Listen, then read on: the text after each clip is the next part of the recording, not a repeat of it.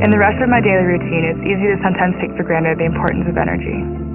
But every second of every day, energy is helping to improve and save lives all over the world. Unfortunately, as consumption continues to increase and we carry on polluting the environment, we're faced with a grave energy crisis. There simply isn't enough clean energy to meet the demands of the world today. Nuclear energy has the potential, as a clean energy source, to significantly help solve this problem. Led by Professor Peter Burns, Notre Dame's Energy Frontier Research Center is laying the scientific foundation for converting nuclear waste into clean energy through the study of uranium mineralogy and environmental chemistry.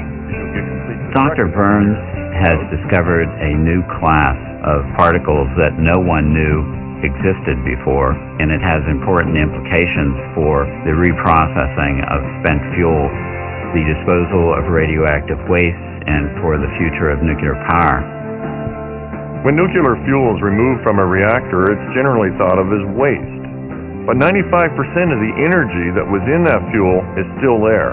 By recycling this fuel, using the technologies we're creating at the University of Notre Dame, we can get much more energy without creating more waste. If the full potential of nuclear energy is realized, it can enable us to improve the quality of life of people all over the world and to create a healthier, more sustainable planet for generations to come.